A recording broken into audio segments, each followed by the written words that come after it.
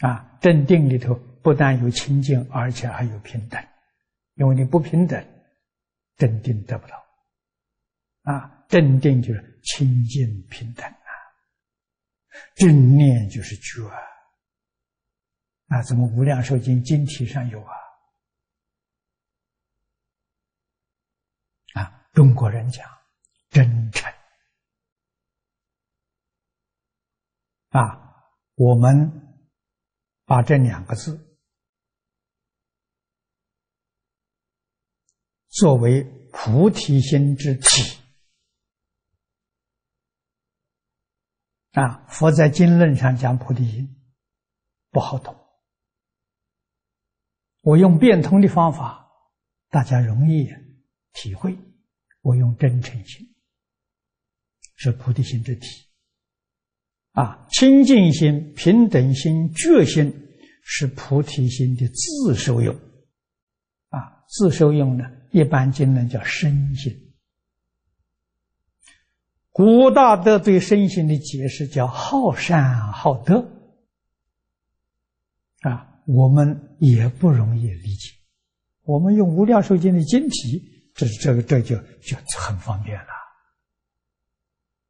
啊，去清净不受量，平等没有动摇，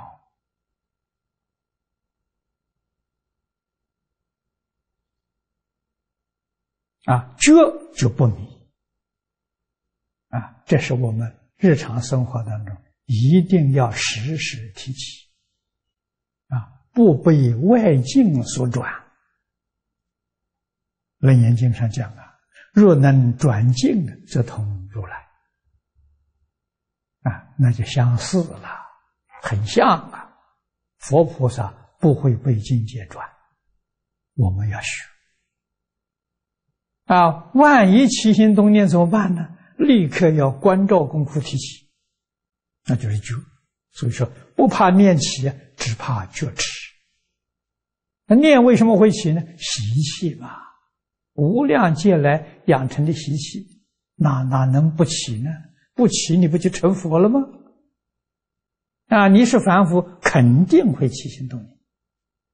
这佛知道清楚的很啊。这一起心动念呢，立刻就警觉到了，这就觉悟。警觉到什么？把念头转过来。我们念佛的人转什么？转阿弥陀佛。啊，善念阿弥陀佛，恶念阿弥陀佛，通通归到阿弥陀佛，就摆平了吗？这叫真修行呐，这叫会念佛啊！所以念佛，你会不会呀？啊，会念呢，这叫功夫。你看，把你起心动念、分别执着全打掉了。啊，一句佛号取而代之，这就会念佛。念久了呢，念久了的时候。六根在六尘境界里，见色闻声就会呀不执着、不分别、不起心、不动念，那就成功了啊！能够念到啊，不执着了，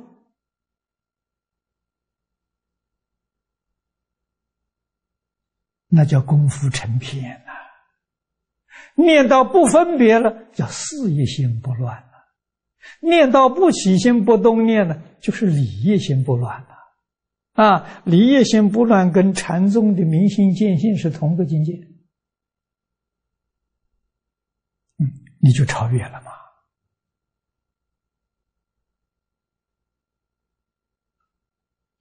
啊，除了这些功夫，跟一切大乘法里面。同一个原理原则，但是净土还有特别殊胜的，那就是阿弥陀佛本愿力加持，这个是其他法门没有